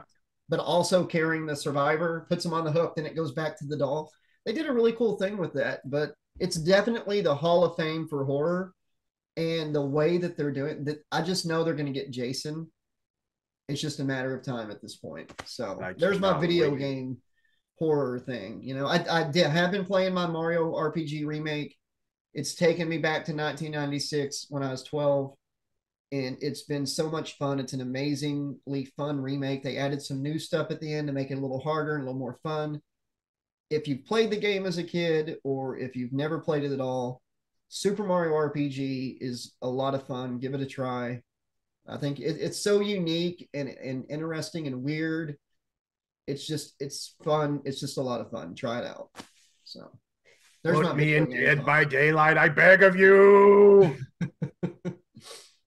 Josh, Yes, sir. on November on November 18th, 1990, over 33 years ago, Stephen King's It premiered on ABC. So night one of the miniseries uh premiered on ABC. Do you did you watch it when it first premiered? Or what was the first time you watched that particular uh miniseries or movie of it? I don't think my parents would have let us watch it, but it was on one of the few channels we had because it was like on like a local affiliate. Yeah. So we might have like skipped through it or something, but I remember a friend of my sister staying the night for the weekend and she brought the VHS tape over. So it was probably at least two or three years after it aired because I don't think the videotape came out right away. Wait a minute. She brought the v- she brought the VHS tape or tapes, Josh, Tapes, because like all that had like was like- fucking nine. It was like four tapes, yeah. Um, It was like the Ten Commandments. It was like there was like it was like the Power Rangers uh Green Ranger episode. There's like five of them. and I remember thinking the movie was like it, it got built up of being so terrifying and so scary, and then I put it in and it's like Stand by Me, you know? It was- first, and I was like, wait, what? Stephen King wrote both of those films. I Um know, I know, but like it.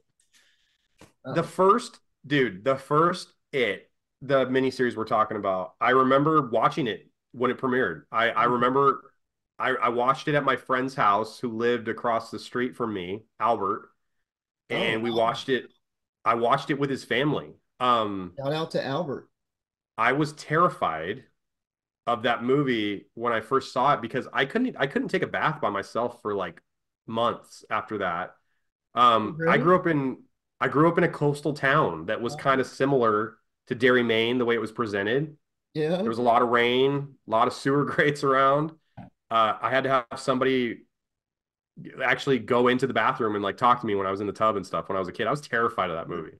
I'm sorry. That's sad. Like I feel bad for little Alex right now. I had My- stuff from movies that scared me like that too. But my brother, the spoiler, in case you haven't uh, heard of Aaron Vanover, the spoiler, he's the king of spoiling movies or TV shows or any other intellectual property that you're into at the time. He'll tell you how it ends.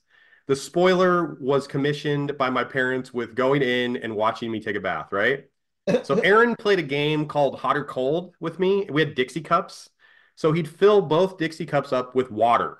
One allegedly had warm water, right? yeah. and one allegedly had cold water and i had to pick which cup so whatever cup i picked he'd dump it on my head and hopefully it's the warm one right 100% of the time it's the cold one no matter what one i picked and then if he particularly wanted to be an asshole that night he would show me that the other cup was also cold by dumping that one on my head too so i was fucked it was like a saw trap it was like when the second girl from saw who took over like the trap you couldn't escape it right you're just gonna die no matter what.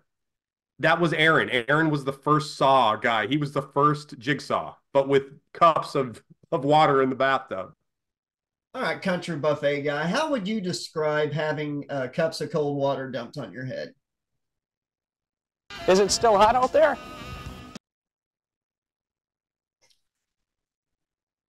Okay, uh, at least that's the last one I'm contracted to use tonight. So uh, thank you, Country Buffet guy. Um, yeah. So was that was that all the horror news, or I got one more horror story. from him? Okay. One more. Okay. All right. Uh, Tim Burton has finished shooting Beetlejuice 2. So Oh, the but- movie is in the can. yes. Yes. Yes. You And the excited? last, the last thing about it, I was gonna say Tim Curry is the goat, man. He's always gonna be my favorite Pennywise. And Michael Keaton, Beetlejuice Goes Hawaiian. Can't wait to see it. That's the sequel you're talking about, right? They made Beetlejuice Goes Hawaiian finally.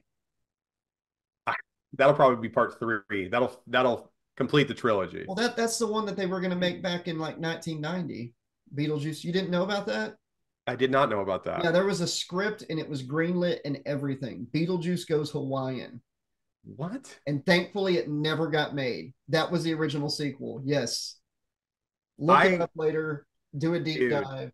Crazy shit. Um, When I was a kid, I absolutely adored the movie Beetlejuice, but I loved the cartoon even more. I've got it Um, on DVD. Do you have the DVD? I I just bought the cartoon on DVD. I got it at Walmart for like five bucks. yeah, man, the whole the whole series. I love Yeah. it. It was- I absolutely love Beetlejuice the cartoon. It, it that was I would seriously I would watch it every day after school and every Saturday morning. the French skeleton um guy. I fucking I love, love you, Beetlejuice. and I love the um you know Beetlejuice and the real Ghostbusters had some episodes that were legit scary. Like There- uh Yeah, yes, I agree with you. Crypt Keeper, the cartoon did. Like we had some cool shit as a kid. Nowadays, they're they're missing out on some good good entertainment. The the um what so what was the other one you said other than Beetlejuice? The Real Ghostbusters and Tales from the Crypt Keeper. real Ghostbusters episode where they fight the boogeyman. Yeah, That Oh, scared the shit out of me because Egon like had a past with him as when he was a kid. He used to like haunt Egon when he was a child. Um, there's some scenes in that episode that are terrifying. And he's the real uh, boogeyman. He's not a ghost. They can't capture him with their traps. Yeah, he's like an actual supernatural boogeyman. So he's like Freddy Krueger basically, like without the license, because he'd come in when they were asleep and shit, and uh, They even they actually go into his world. Yeah, yeah, and like uh, closet doors. Yeah, they they had to basically hook up their equipment and self-destruct it so it would destroy the door Yep. that would allow the boogeyman to enter Earth. And he was Basically. terrifying. Like Samhain was another monster on Real Ghostbusters that was scary, at least in his first episode when Halloween was forever. Yeah, he was scary. Then like they the show kind of got watered down when they added Joey as he as uh, Peter and everything.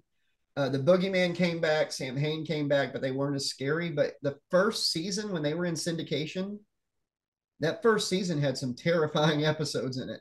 For real, Yeah, check it out, Ghostbusters- Ghostbusters. Uh, the the real Ghostbusters was, or it, whatever. The I don't think it was called the real Ghostbusters, Yeah, was it? it Because the real Ghostbusters had the monkey. No, no, no, that was just Ghostbusters. That was Okay. Ghostbusters. Yeah, uh, the- the, our Ghostbusters we're talking about was called the real Ghostbusters because Yeah. they were trying to say, no, we're the real Ghostbusters, like the movie. Mhm. Um, I, I remember renting Filmation's Ghostbuster by accident one time uh, because the guy kind of looked like Ray from the cartoon. And I yeah, actually, I actually liked it. And Anthony, whenever he was younger, I got him the Filmation Ghostbusters and Real Ghostbusters, and we watched both of them. They, it was actually fun.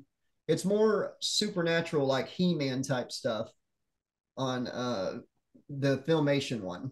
Like uh, there's Yeah. like a Skeletor type villain that's uh, the main. It's it's it's more sci-fi than paranormal, but you hear a lot of the same voice talent from He-Man in that because it's filmation. It's the same crew that worked on that, you know, that exact uh, cartoon. Same studio, probably. I'm Um, definitely not dogging Filmation's Ghostbusters. It's it's got its own charm too. So Are you so I was going to say one last thing about uh, Beetlejuice. Why why does Jenna Jenna Ortega have to be in it? Is it because the, the fans now, the younger kids, like, oh, Jenna Ortega's in it. I'll go see that because they don't know the property. Is that why? it's either that or because of like her doing Scream and her doing Wednesday, she's kind of like become like the new gothic type actress. Mm-hmm. Like if, if anybody is like Lydia was in the first Beetlejuice, it's Jenna Ortega. I don't know. It's Yeah. like she she's kind of Dwayne Johnsoning movies right now. Too much. It's like too much. A little too much, but I don't give a shit who is in Beetlejuice 2. I'm psyched for Beetlejuice 2. So am I. I Just- watched just The Flash just to see Michael Keaton's Batman. And then I Just- just the fact that Michael Keaton is back as Beetlejuice is amazing. yes, yep. So yeah, definitely worth the price of admission. You know what else is not worth the price of admission, Josh? Uh, headlines. Our first headline. Listen to this. All right. Uh, I don't know if you've seen this. So Target, uh, Black Friday. Uh, you know how stores will be like, "Hey, come on down, get a TV for ten dollars or whatever." I know where you're going.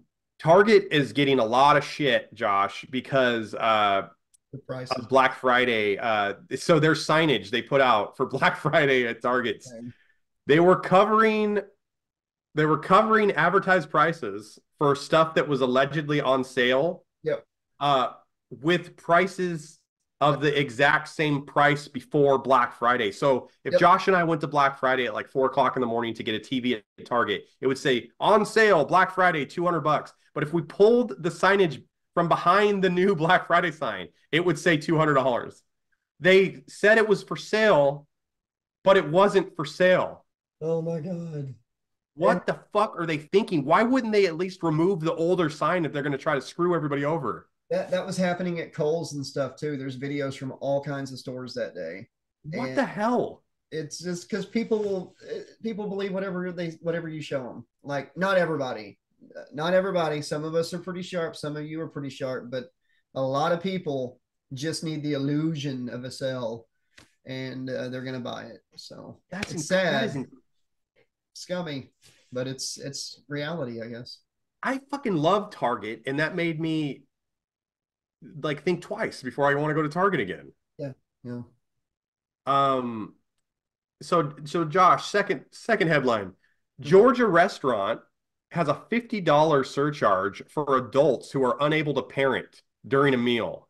So the hold on, let me read this. The Tokyo Riverside restaurant in Blue Ridge, Georgia, has recently went viral for adding an extra charge of $50 for adults deemed unable to parent. So if you're in there and your kids are loud and they're throwing shit all over the place and they're ruining their meal for other the meals for other people in there, you could possibly have a $50 surcharge added to your receipt. What's your thoughts on that? I'm clapping. I'm applauding. About It's like- time. as if somebody Dude. that's been a waiter before, and I know you're a waiter, you gotta you gotta agree with it. I just think that it's it's like the same thing for like I think they go to a restaurant and I'm not they I'm being general like a lot of parents will just like they're so exhausted from parenting these kids that like yeah I'm in a restaurant. I it's not my house. I don't give a shit. And then they just let the kid do whatever. They don't parent them. They don't scold them. They don't punish them. Nothing. The kids make it unbearable for every other person in the restaurant and the servers included to do their job. Um I think this is a really great thing. They actually got a lot of shit on uh, social media because uh, people were outraged that they added this like $50 charge. But the owners of the restaurant say, Josh, that the policy is rarely enforced. But they didn't say, they did not say, Josh, that it's never enforced. So if you're eating in Blue Ridge, Georgia at this restaurant, you better watch your fucking P's and Q's with your kids. All right. That's all I got to say. I agree. I think that the surcharge should be split amongst the host, waiter, and cook. Yeah, they should get yeah, they should get a tip, an extra amount of money. Dude, Josh, my least favorite thing when when I'm waiting tables and kids are present, they're gonna destroy that table and that carpet or that floor. They whatever they're eating, it that shit is gonna be all over the ground, and then you're gonna have to fucking clean it all up. It's gonna take forever. When you're in the restaurant industry, Josh, what do you want? You want to flip your table and get another table and make more money, right? I want to be scrubbing stuff out of the carpet that's like Yeah, I don't want to be fucking vacuuming and scrubbing and, and and shampooing the carpet so I can maybe get another table. Um, it's ridiculous. So that, that's a great thing. I applaud them. Yep, I do too. Uh, last last headline, last story of the show, bud. Holy shit. Okay. Yeah, this has just flown by, man. Two firefighters were recently fired after st- after stopping at a Chick-fil-A on the way to an emergency. So these two firefighters uh, were from Washington D.C. and they stopped they stopped at Chick-fil-A during an emergency call. Uh, and they they lost their jobs because instead of responding to the call for a lady feeling sharp pains in her chest, they decided to pick up their food instead. And when they were asked to elaborate on why they stopped instead, uh, you know, at the restaurant instead of going to help this woman, they claimed to have ordered the meal just prior to the call, and they planned to just pick it up and and on the way to the emergency. I call bullshit. Anybody that's ever been to Chick fil A knows there's going to be at least 20 cars in the drive through and like one of those like big lines through the little walking area going up to the. Even if it's online, it's going to take forever. Yeah, it, it, you're not getting in and out of Chick fil A at all. But in their defense, they were picking up Chick fil A. So if it's the spicy chicken sandwich or It's saving delicious. someone's life, I got to admit, I'm a little torn. Chick fil A is good. And also, who knows if the call was made, you know, late Saturday night because Chick fil A is not open on Sunday. So you only have one chance. Yeah. yeah, you go, you, it's like lady might die, get your Chick fil A. You, at that point, you kind of got to flip a coin, I think. Yep. Um, they got fired. I hope that chicken sandwich was the best chicken sandwich they've ever eaten in their lives because they're fired for it. Do you do you like spicy chicken sandwiches? Who doesn't?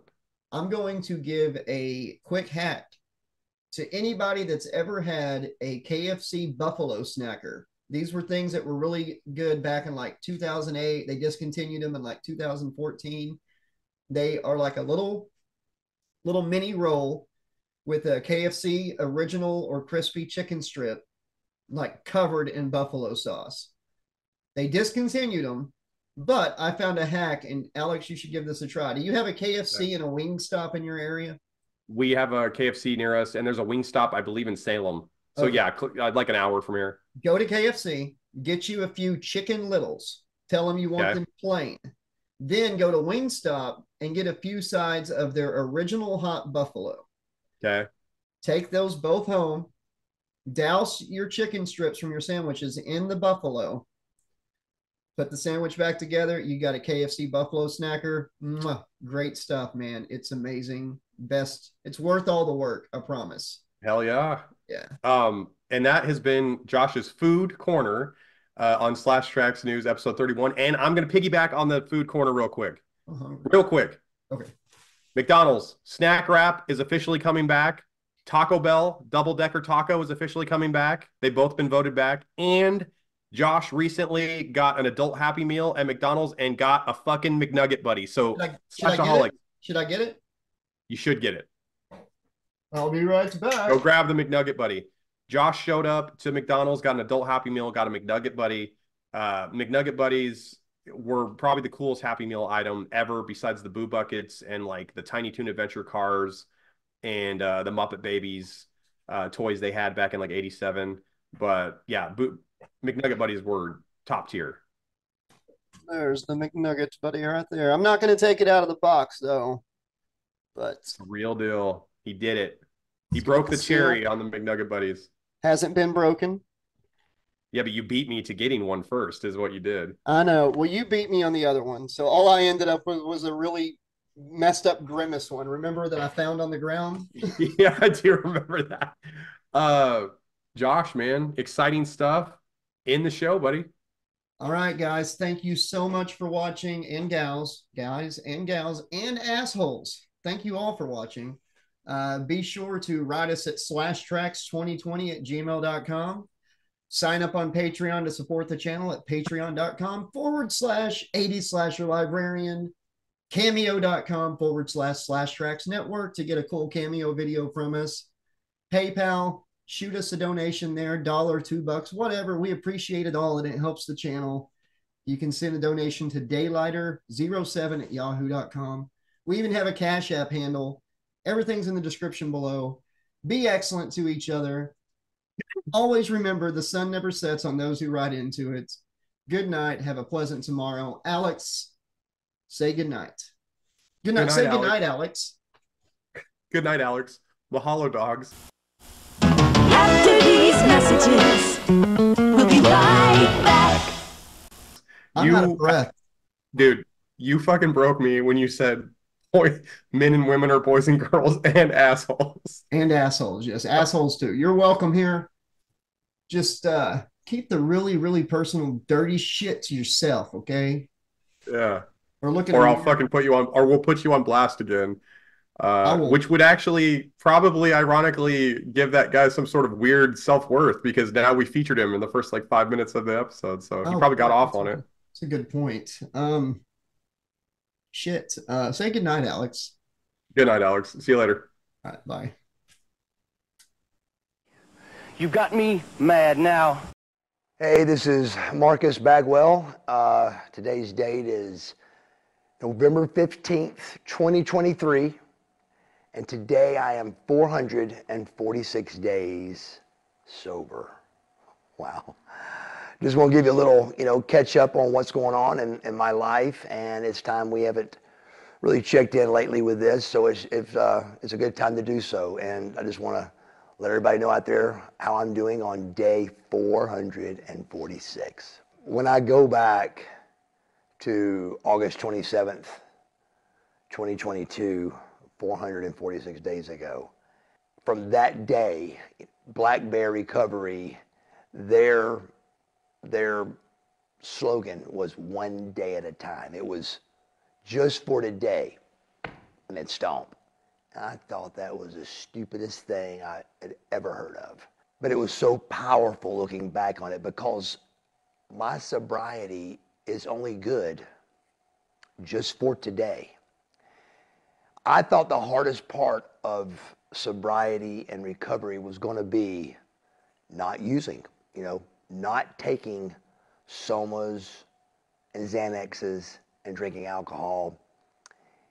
And at 446 days ago, just for that day not doing that was a big deal. It, it was gigantic. And so every day we'd get up at Black Bear, and it was just for today. And thought it was stupid. Day 10, stupid. Day 20. Day 25, I started buying into the to the stomp. It, it, it meant something. I was getting proud at 25 days. But over the last 100 days, you know, you, you clear the 30, you get out of rehab, and you're, you've reached a goal. Um, and you're still, the goal still is not to use, not to take a Soma, not to take a Xanax. But you don't quite know why yet. You're just, you're just trying to be abstinent from alcohol and pills. And you're doing it just for the day. And then all of a sudden, you're, you know, 60 days and you get your chip, you know, and then you're 90 days and you get your chip. And then you're, you're moving up, man. You're going your AA meetings, and all of a sudden, I run into what I think in my sobriety walk is it's not so hard to not use. It's hard to deal with your emotions without using. So me staying away from alcohol and staying away from pills is easy. But now when you throw in the mix of DUI court and life and temper and patience, and you got to deal with that temper and you got to deal with that patience, and you're forced to deal with it because the only answer not to deal with it is to use. And I've got way too much invested here on my sobriety, way too much on my recovery to to even have that thought that enters my mind. It's gone. So what you're faced with is dealing with that temper. And man, I have realized that my temper is out of control. It's it's dangerous. And how this has came full circle for me is DUI court. Um, the DUI court program works with phases. I'm in phase. You start with phase one, and there's you know there's a regiment. There's so many AA meetings and court appearances and things like that, and they allow you to travel, but certain ways, and you got to turn sheets in and papers in. It's it's all about accountability. But the more I learned about it, it's all about life. Thing about it's about being a better person. It's about being a more successful person and not fighting not fighting that thing that they're trying to show us. I've had a couple of setbacks over the over the DUI court program with my temper. And again, never really having to address it because before I addressed it with alcohol and pills. And that got me through it. Well, now you got to process it. You got to think about it and you still got to live in life and make it happen. The DUI court program has sanctions, and one of my sanctions was for 24 hours for having paperwork wrong where I had traveled and I didn't put my inner flight in because I didn't, I didn't think it was necessary and to put up the time I was at the Dallas airport in, but they let me know that they did want to know that, and here's 24 hours. So that was one of them, and then I my temper got me into another one, where I again thought I was right, but looking back on it, I could have handled it totally different. I did not, and my temper got me into that situation. So I did, I think 48 the next time because it's not the same punishment each time. Both those times, of course, it got out that you know Buff Bagwell relapsed, and that's not the case. The case was it was a sanction, a DUI court sanction. Unfortunately, when you look it up online, it's not it's not any fun for a paper to say Buff Bagwell got arrested for a DUI sanction. it's much better to say Buff Bagwell got arrested for a relapse and he's in there for speeding and, and reckless driving and all the things that happened three plus years ago. So that is the truth. That is what's going on. But it's all these things as come to a point where I'm really having to deal with my temper for the first time in my life. And it's really, it's really tough. Um, I'm quick to smart off. I'm quick to answer. If I'm a little bit in the right, I will, I will push my way to say, here's how it is. And that's just not how you got to function in life. So recently, uh, in DUI court class, um, I'd asked the teacher uh, a question on how to do something, and she told me I did it, and she failed me, and I flipped. I, I couldn't believe it. I was like, what? Looking back on it, I could have handled it so much differently. And so, because of my, my temper, I'm now in another situation. I actually got court tomorrow, which is going to be November 16th, Thursday, November 16th. And I'll be going to court for an in class disruption. And it's going to be out there that Buff Bagwell relapse, but I'm letting you know that I am clean and sober and doing fantastic. But I may be going to jail for my temper, which is the next goal in my life to overcome. They always say it takes a village, and you know, and I never really understood that sentence or that statement, but it's the truth. It takes a village, and in recovery, it's it takes a support team. Under that umbrella of DDPY, you've got Dallas and Steve Yu and all the people here at from Trevor to Nate to to Brock to to, to Grizz to to Larry to to Nadia to Cat to I mean it's unbelievable just how everybody's Matt. I think I named everybody Spectre, but they all all under that umbrella. It really is a big deal, and um, and that is looking back on it. There's no doubt how much that helped me.